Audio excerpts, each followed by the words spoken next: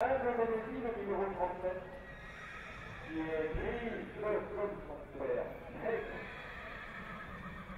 très grande famille, au fait, elle est ouverte par Robin Léchange, toute une famille, dont on a déjà parlé tout à l'heure d'ailleurs, à une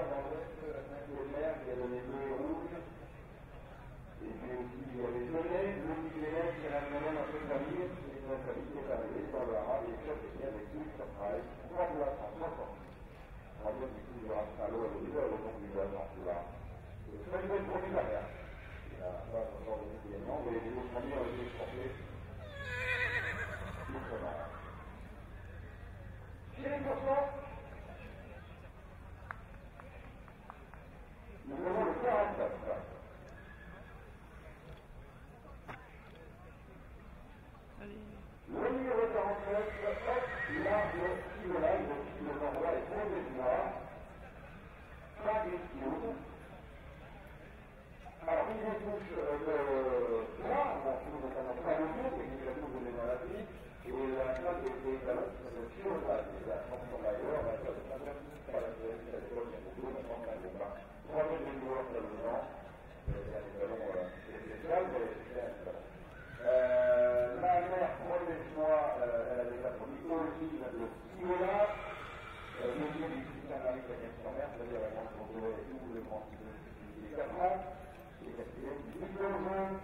Euh, 2029. S'il vous plaît, au